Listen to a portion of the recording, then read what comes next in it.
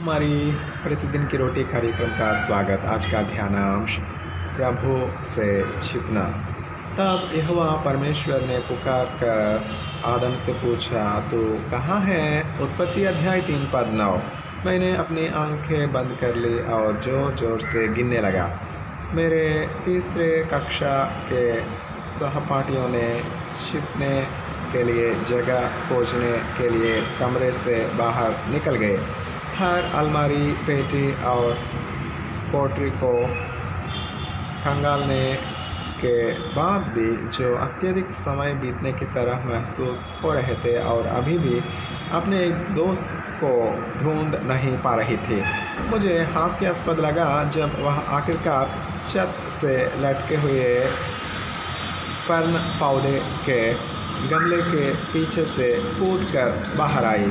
केवल उसका सिर पौधे से छिपा हुआ था। उसके शरीर का बाकी हिस्सा पूरे समय दिखाई दे रहा था।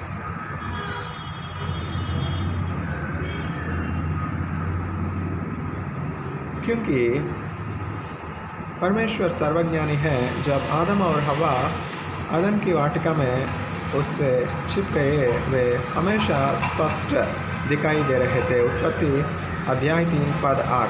लेकिन वे कोई बचपन का खेल नहीं खेल रहे थे। वे उस पेड़ से खाकर जो परमेश्वर ने उन्हें खाने से मना किया था, अपने अधर्म के बारे में अचानक जागरूकता और शर्म का अनुभव कर रहे थे। आदम और हवा, परमेश्वर और उसके प्रेमपूर्ण प्रबंध से फिर गए जब उन्होंने उसके निर्देशों की अवहेलना की। हालाँकि गुस्से में उनसे अलग होने के बजाय उसने उनसे पूछा, तुम कहाँ हो? ऐसा नहीं है कि वह नहीं जानता था कि वे कहाँ हैं, परंतु वह चाहता था कि वे उनके प्रति उसकी करुणामयी चिंता को जाने पद नौ मैं छिपी हुई अपने मित्र को नहीं देख पा रही थी, लेकिन परमेश्वर हमेशा हमें देखता है और हमें जानता है। उसके लिए हम हमेशा स्पष्ट दृष्टि में होते हैं। जैसे ही उसने आदम और हवा को खोजा ईश्वर ने हमें ढूंढा जब हम पापी ही थे। हमारे लिए अपने प्रेम को प्रदर्शित करने के लिए क्रूस पर मारे गए। रोमियो अध्याय पाँच, पद आठ। हमें अब छिपने की ज़रूरत नहीं है। आपने कब परमेश्वर से छिपने की कोशिश की है, उसने आपको कैसे खोजा है? पिता परमेश्वर, आपके प्रति गलतियाँ करने के बावजूद आपका मेरे लिए अपने प्रेम और देखभाल का प्रदर्शन करने के लिए धन्यवाद। लेखक किर्स्टन होलबर्ग।